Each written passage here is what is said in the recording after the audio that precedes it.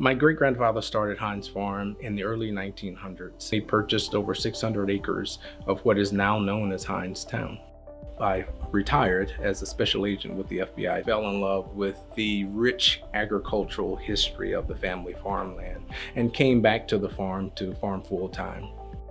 I farm approximately 30 acres. I combine modern and traditional farming techniques. I farm peaches, various vegetable crops, tomatoes, cucumbers, zucchini, squash, watermelon, cantaloupe, sweet corn. FreshPoint is my primary wholesale buyer. I'm able to move more than 50% of what we're growing. We have an insurance program that supplements the insurance that farmers carry, allowing us to work with any farmer regardless of their amount of insurance. We also backhaul from farms when we have space on our truck routes. Backhauling allows us to work with farmers who are farther away from our warehouse, who may not have a refrigerated truck. It also allows farmers to stay on the farm rather than delivering.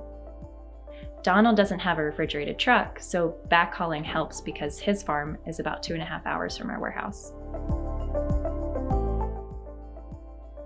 As a part of this initiative, I was able to grow more I was able to sell more because they wanted to buy more of my product.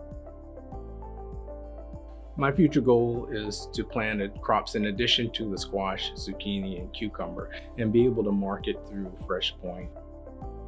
FreshPoint is connecting the world to share food and care for one another.